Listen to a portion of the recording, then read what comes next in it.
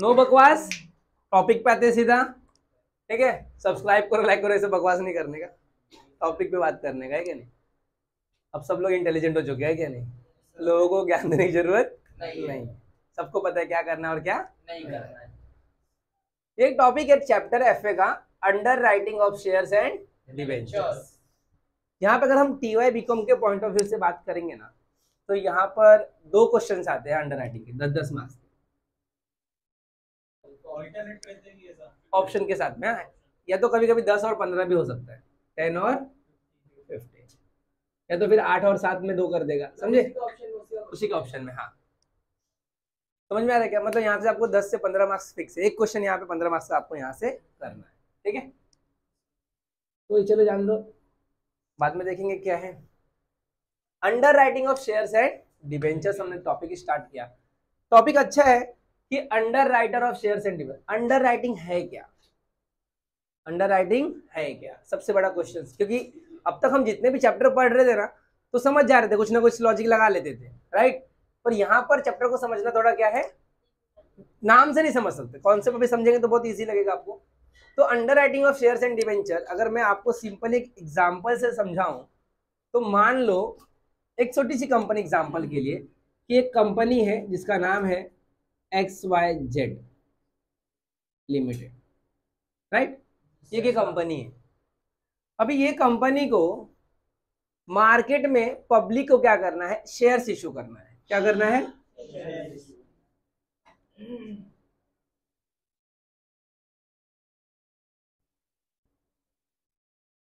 Shares issue करना है right अभी शेयर्स इशू करेगा और एक नई कंपनी है। तो क्या आपको लगता है कि इसका शेयर्स पब्लिक परचेस करेगी मार्केट में? नहीं। आपको लगता है? अच्छा है। आपको लगता है कि पब्लिक से इसको रिस्पॉन्स मिलेगा? पब्लिक इस शेयर्स को बाय करेगी? क्या लग रहा है आपको? नहीं। आ सकता राइट होगा क्या? नहीं होगा। और अगर इसने शेयर्स इशू कर दिया शेयर्स इशू कर दिया।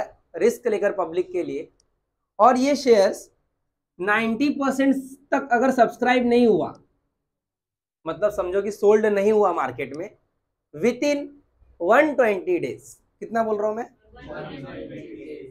As per the company law 2013 तो जितना भी पैसा इसने कलेक्ट किया है ना पब्लिक से उनको वापस रिफंड करना पड़ेगा। समझ में आ रहा है क्या बोला मैंने?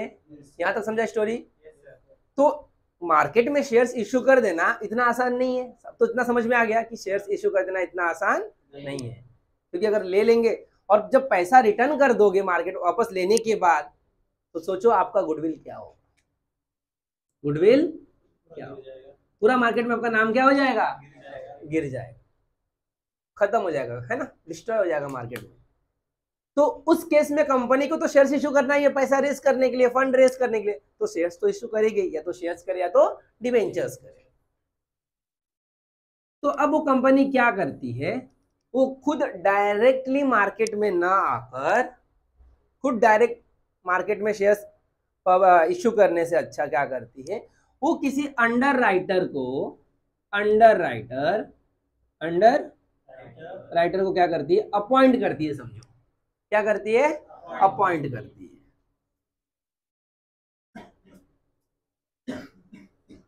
अपॉइंट करती है। किस लिए अपॉइंट करती है? ताकि वो उसके शेयर्स को क्या करेगा? बेचने के लिए मदद करेगा हेल्प करेगा कम्युनिकेट करेगा। सामने वाली जो पब्लिक बैठी है उनको कन्वेंस करेगा। और ये जो अंडर राइटर है वो कौन है? तो वो एक पर्सन है। कौन है ये? लेकिन ये पर्सन मतलब ये नहीं कि सन्नी होगा। ये नहीं कि वो सन्नी होगा। ये नहीं कि नदीम होगा। ये कौन होंगे पर्सन एक इंडिविजुअल भी हो सकता है। ज़रूरी नहीं है कि सन्नी नहीं हो सकता। हो सकता है अगर उसका गुडविल अच्छा हो मार्केट में।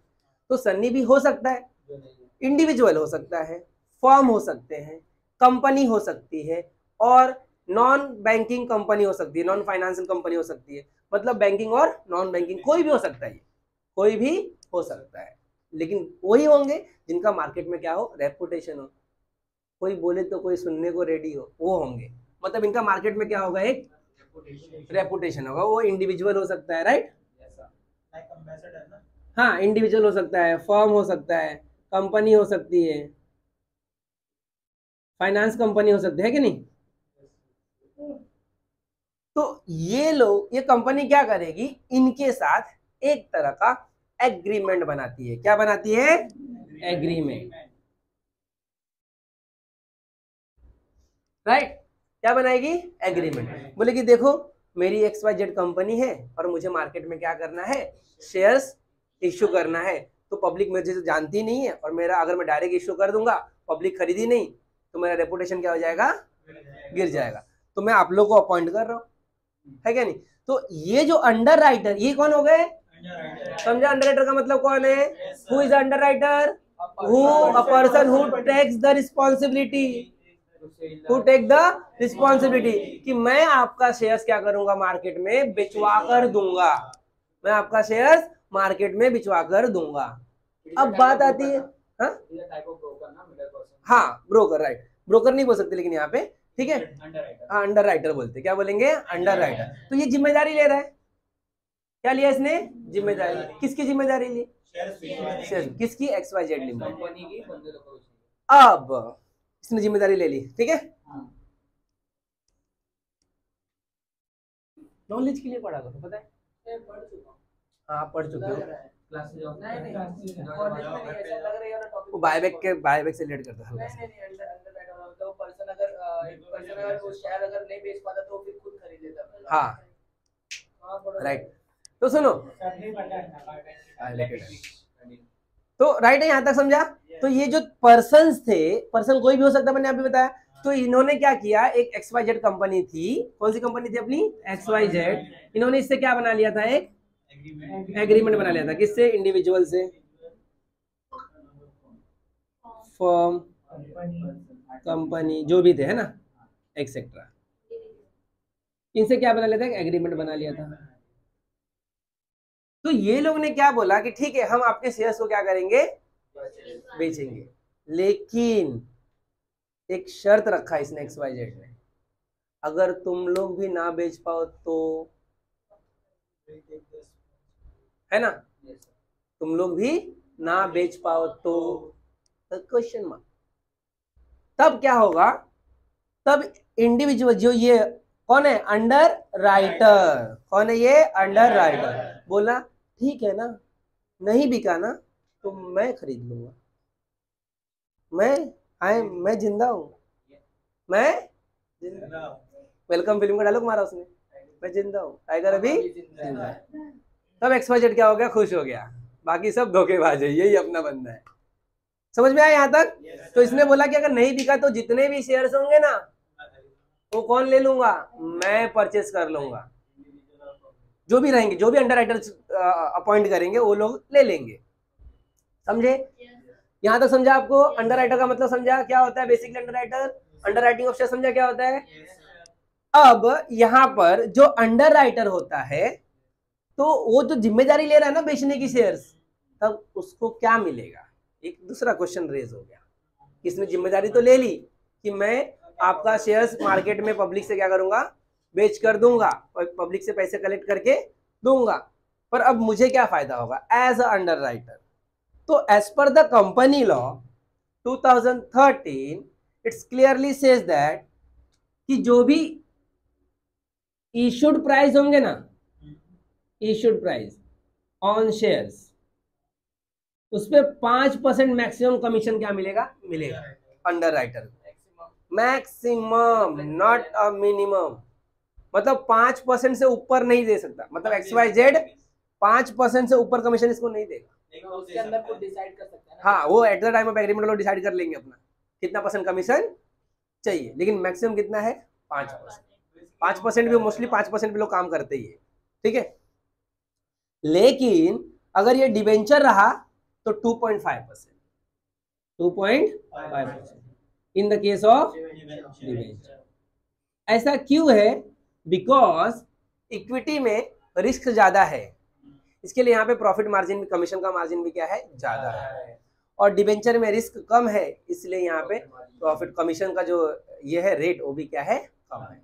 समझा यहाँ पे? तो अंडर को फ़ायदा किसमें होता है? इस कमीशन के फॉर्म में। किसमें? कमीशन के फॉर्म में। ज़्यादा समझा सबको? अब देखते हैं। अब क्या होगा? तो अब हमने देख लिया अंडर राइटिंग ऑफ़ शेयर्स क्या था? और जब वो शेयर्स बिचवा के उसको देगा तो उसको क्या मिलेगा? अब इस चैप्टर में हम अगर देखेंगे तो दो चीज़ें और अपने को देखने मिलेगी। एक होता है mark application mark application right है? और दूसरा आपको देखने मिलेगा अनमार्क एप्लीकेशन मैंने कल आपको आई थिंक पूरा थ्योरी लिख के दिया था सब है ना? तो ये मार्क एप्लीकेशन क्या है और ये अनमार्क एप्लीकेशन क्या है? अब हम ये दो कॉन्सेप्ट को समझेंगे राइट तो ये दो कॉन्सेप्ट समझ जाएँगे तो हमको ये चैप्टर करने के लिए आ जाएगा। तो मार्क एप्लीकेशन क्या है? देखो जैसे कि एक्स वाई जेड कंपनी थी अपनी right X Y Z company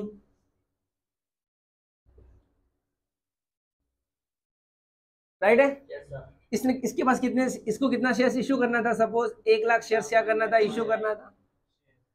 और इसने तीन लोगों को अपॉइंट किए। तीन कितने अंडर राइटर अपॉइंट किए? तीन। एक का नाम था सनी। एक का नाम था आकिब। क्या था? ए क्यू आई और एक का नाम था पूजा। ए बाबा, पूजा पूजा मत यहाँ देख। तो ये ये तीन का है अंडर राइटर अपॉइंट किए राइट सन्नी दूर है पूजा यहाँ से। टेंशन यहाँ देखो।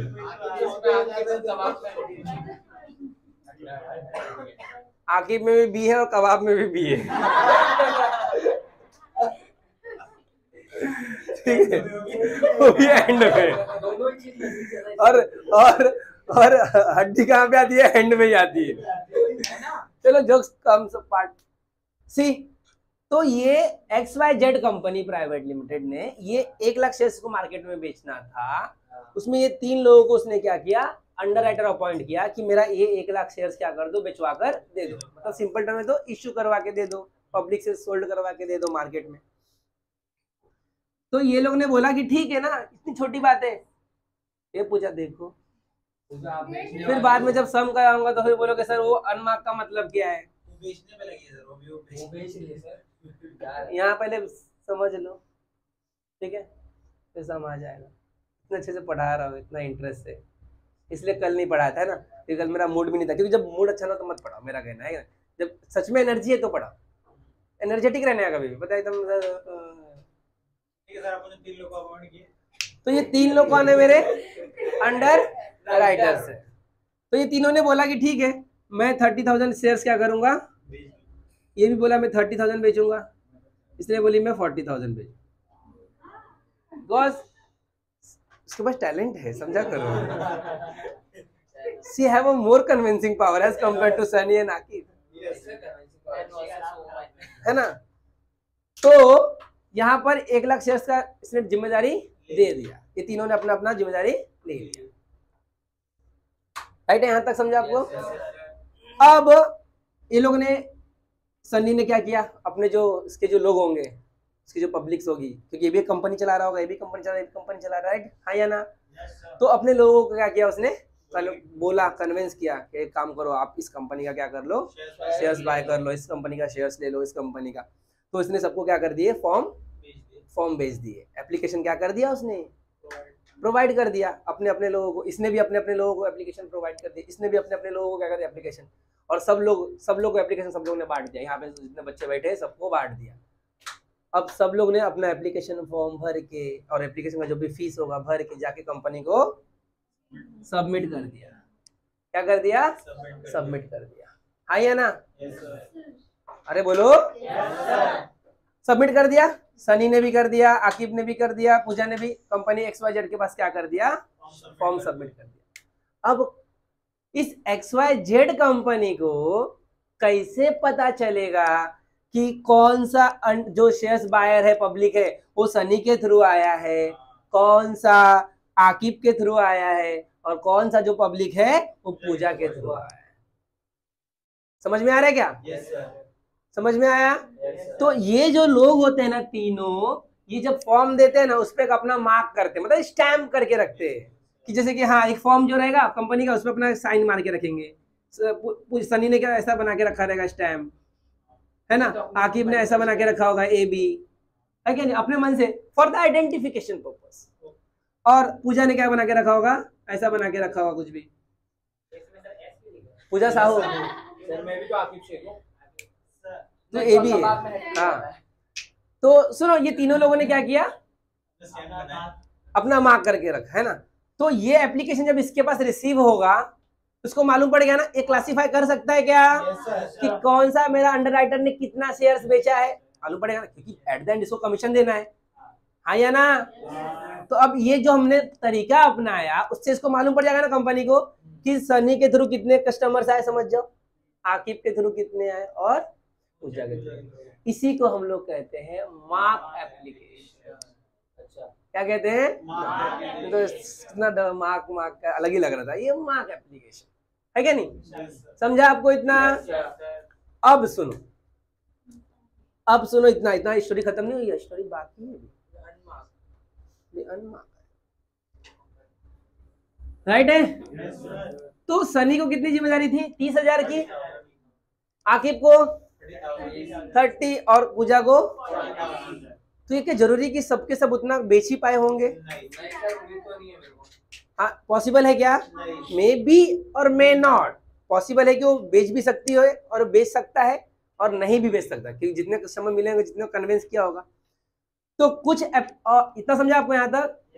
तो अब कंपनी जो है अपनी एक्स वाई जेड लिमिटेड ये भी अपने बाउंडिंग से बाहर निकलती है। बाउंडिंग से बाहर निकलती है। और ये भी क्या करती है? खुद बेचती है। क्या करती है? खुद बेचती है। खुद बेचेगी। सुनो ध्यान से यहाँ से स्टोरी अब वो भी कस्टमर को क्या करेगी? कन्विंस करेगी? Yes. आप हमारे कंपनी का शेयर्स ले लो। ठीक है? तो जो शेयर्स कंपनी बेचेगी तो उस पर तो कोई स्टैंप नहीं होगा? बोलो? होगा क्या? नहीं रहेगा। तो जो स्टैम्प जिसपे नहीं होगा आइडेंटिफाई इसका मतलब वो क्या है? अनमार्क एप्लीकेशन है। वो क्या है? लेकिन अनमार्क एप्लीकेशन का भी जो कमीशन होगा, वो अंडर राइटर को डिस्ट्रीब्यूट हो जाएगा। ये कि बिकॉज़ एक लाख शेयर्स का कॉन्ट्रैक्ट इसको तो दे दिए ना तीनों को। और वो कंपनी अपने बाउंडिंग से बाहर आके निकल मतलब थोड़ा मेहनत कंपनी हाँ वही एक लाख में से हाँ वही एक लाख में से वो भी कन्विंस कर रही लोगों को अरे तुम भी ले लो तुम भी ले लो तुम भी ले लो। तो कुछ लोग इन लोग के पास गए कुछ लोग डायरेक्ट कंपनी के पास आ गए वही एक लाख शेयर्स तो वो वन लाख शेयर्स का जो भी कमीशन पे होगा वो किसको होगा? अंडर राइटर को होगा। किसको होगा? अंडर और वही हमारा क्या कहलाएगा? अनमार्क एप्लीकेशन कहलाएगा। क्या कहलाएगा? अनमार्क एप्लीकेशन समझ में आया आपको? तो इस चैप्टर में बेसिकली ये दो चीज़ें थी एक अंडर राइटिंग क्या है एक मार्क एप्लीकेशन क्या है और एक अनमार्क एप्लीकेशन क्या है। यहाँ तो सबको समझ में आया? Yes, फिर हम लोग अगर प्रैक्टिकल सम की बात करेंगे तो यहाँ पर एक हमको क्या फाइंड करना होता है कि ने, हाँ चलो net liability of under find करना होता है और दूसरा होता है जनरल एंट्री करनी होती है। मैं यहाँ पे बाद में आऊँगा पहले एक चीज़ और बता दो इसके बारे में। तो हम मार्क हो गया और अनमार्क फिर यहाँ पर ये चैप्टर पढ़ने का मकसद क्या है? अभी पूरी स्टोरी तो समझ लिया हमने। कंक्लूजन तो क्या है? क्यों पढ़ेंगे? सबसे बड़ा क्वेश्चन जिसको हम लोग कहते हैं वाई है क्यों है वो? हम लोग का है। वो क्यों है? क्यों हमारे ऐसा ही होता व्हाट्सअप वाला मैसेज राइट ये वाई चैप्टर क्यों पढ़ेंगे? मैंने आपको हमेशा सिखाता हूँ कि सम से ज़्यादा फोकस किस पे करने का? कॉन्सेप्ट को समझने। कंक्लूजन पे समझने कि वो मकसद क्या है पढ़ने है क्या नहीं? तो ये चैप्टर पढ़ने का मकसद ये है कि अंडर राइटर की नेट लाइबिलिटी कितनी है? अंडर राइटर की? क्योंकि कंपनी ने कंपनी ने एक्स वाई जेड कंपनी ने एक लाख शेयर्स का रिस्पॉन्सिबिलिटी दी। आइए ना? चालीस सॉरी 30 30 तीस तीस और चालीस। ठीक है?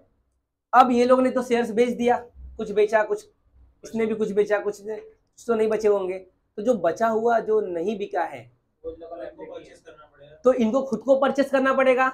हाँ या ना? क्योंकि ज़िम्मेदारी पहले ले चुके हैं अंडर राइटर है ना?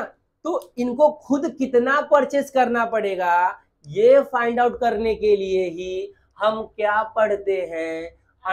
Underwriting of shares and debentures समझ में आया? Yes, उसी को अगर हम अकाउंटिंग में बात करें तो कहते हैं net liability of underwriter तो basically underwriting of shares and debentures पढ़ने का मकसद होता है to calculate the net liability of underwriter समझा बाबू सबको? Yes, आप अगर इस पे थेरी आएगा तो लिख सकते हो ना? Yes, पक्का ना? Yes, चलो तो अभी इतना समझ में आया स्टोरी सबको? Yes. कोई फास्ट हुआ क्या? No, पक्का ना?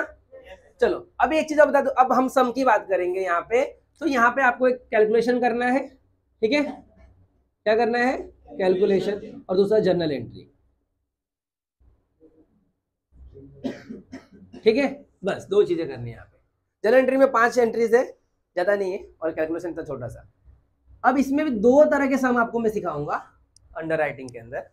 दो तरह के प्रैक्टिकल सम्स एक नॉर्मल क्वेश्चन का सिखाऊँगा नॉर्मल अंडर राइटिंग सिखाऊँगा और दूसरा फॉर्म अंडर राइटिंग सिखाऊँगा। क्या सिखाऊँगा? ठीक है? तो हम इस चैप्टर में ये दो तरह के सम करेंगे एक नॉर्मल क्वेश्चन करेंगे और एक फॉर्म मैंने अभी जो क्वेश्चन लिखा है बोर्ड के ऊपर अगर आप देखो यहाँ पे दिख रहा क्वेश्चन आपको? दिख रहा है? अप्रैल 2019 में ये क्वेश्चन आया हुआ था राइट ये क्वेश्चन जो दिख रहा है आपको बोर्ड पे वो कौन सा क्वेश्चन है? नॉर्मल क्वेश्चन है। कौन सा क्वेश्चन है? नॉर्मल अब बोलोगे सर हम कैसे आइडेंटिफाई करेंगे कि फॉर्म अंडर राइटिंग है? तो ये जो शेयर्स दिख रहा है ना आपको उसी में लिखा रहेगा ब्रैकेट में form underwriting form underwriting form underwriting समझ गया क्या? तो इससे आप आइडेंटिफाई कर पाओगे कि वो नॉर्मल क्वेश्चन है या फॉर्म अंडर राइटिंग समझ में आया आपको? हाँ. राइट है? तो अभी हम लोग फ़र्स्ट टाइप करते हैं इसका। फ़र्स्ट टाइप करेंगे ठीक है?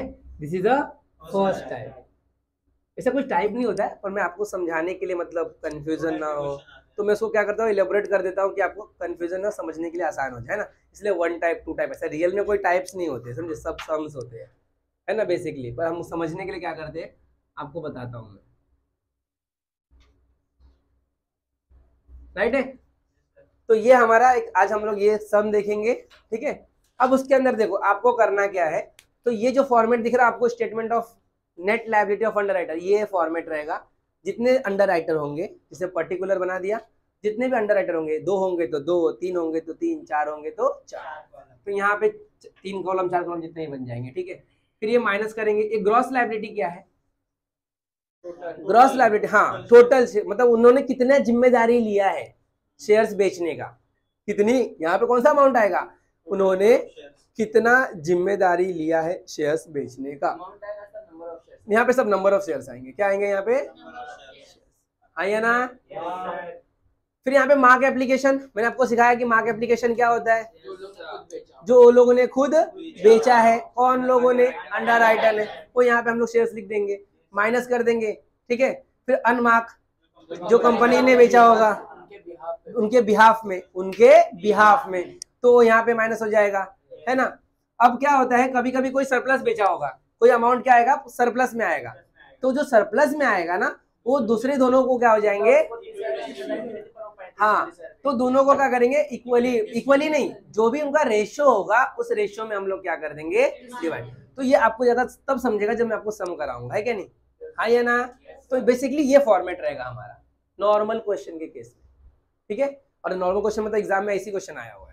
ये मेरे घर का क्वेश्चन नहीं है। उसके बाद हम ये पाँच एंट्री करेंगे issue equity shares to underwriter underwriting commission commission receive और अमाउंट पेड का। बस। ये पाँच एंट्री में आपका पूरा चैप्टर क्या हो जाएगा? खत्म हो जाएगा।